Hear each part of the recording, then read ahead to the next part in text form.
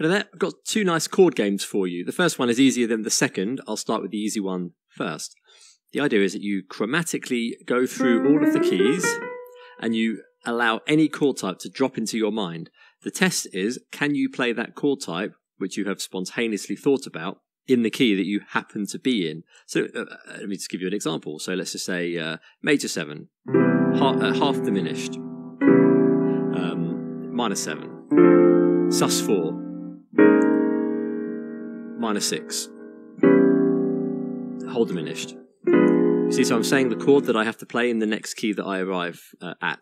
That's uh, a good challenge because it's gonna you're gonna find weaknesses in your chord uh, theory. I'll spend a bit more time now on the second exercise, which is a bit more complicated because it involves extensions and fancy chords. So it's a good opportunity to practice those. I'll tell you now that the most in, the most common extension is the nine. So lots of these will involve nines. The idea is that you take any note that you want up here, um, I'll take a B flat. That's uh, that looks good. And you start on C, or you even start on B flat actually, and you play um, any chord where uh, the B flat is the top note. Now, in the B flat, it's going to be the octave, of course, because it's just the one, the root. So it will put any chord type. But the, the trick of this, the hard part, the challenge, is to fill in any space as you're working up through the keys um, with other notes of interest. So you're going to think about nines, elevens, sharp elevens, thirteens, flat, you know, augmented, sus4, all these different chord types, and see if you can create a chord where the top note never changes. So B flat, let's just uh, start with a simple major seven shape because that's of course in the key.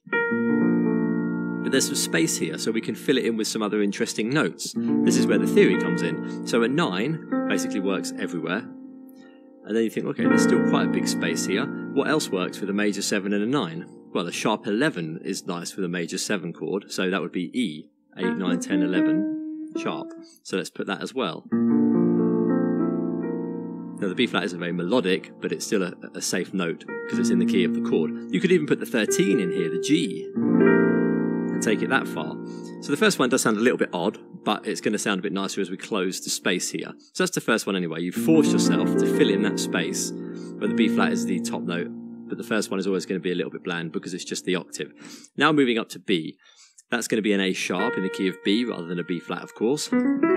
So what chord we have to use is a, is a major seven chord type, but there's other major sevens. You don't just play major seven. You could play a minor with a major seven. Maybe you didn't know that. So we could play a minor major seven, and of course we could put a nine in, which would be a C sharp, and uh, maybe a 13, which would be a G sharp. That would probably sound quite nice. Like a 13, like a minor major 13. Um, minor major, yeah, major major implies the major seven, so minor major 13 with the nine implied. It's very complicated, but it forces you to find note values. Sound too bad. You could even double up on the fifth if you wanted to. Double up on the third if you want to, and play all the black notes. Because they're all in the key of uh, B.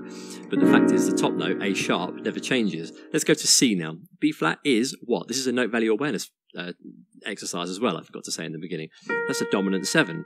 So on C, so it's going to be some chord type with a, with a dominant seven on top. So what could we use here? We could use a sus four.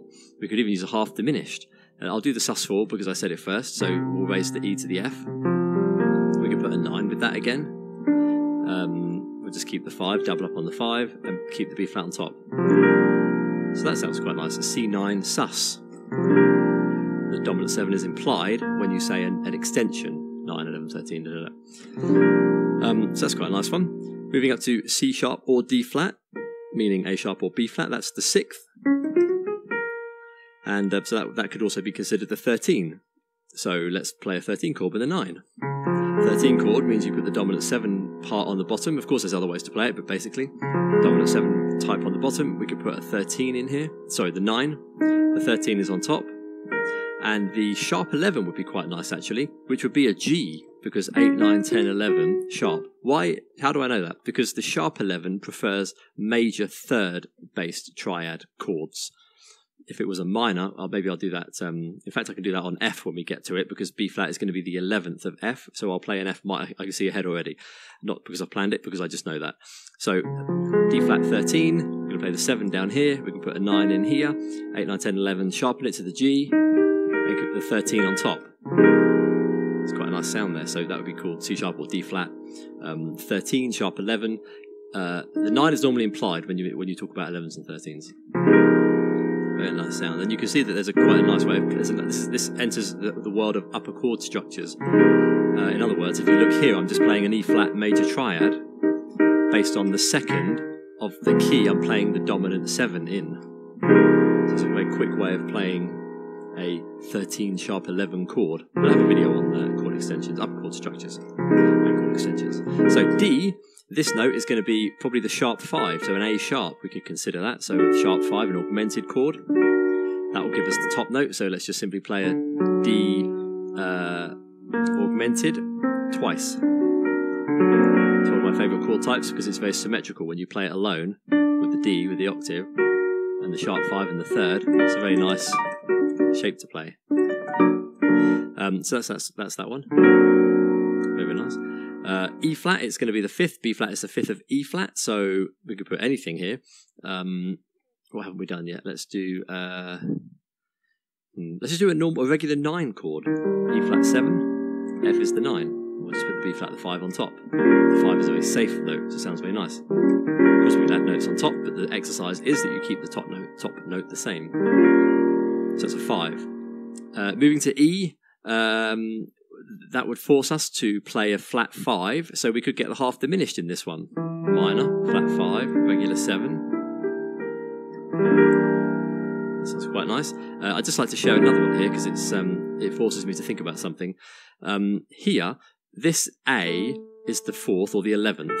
If we sharpen the eleven, it would be called a sharp eleven, not a flat five, because I can put the five here which would force the naming of this to be a sharp 11. Because a note can't be in two places at the same time. It can't be a 5, flat 5, it doesn't make sense. It can't be a flat 5 chord with a 5 in it. So that has to be the sharp 11, ones 8, 8 9, 10, 11 sharpened. So let's put a 9 in there as well, the F sharp.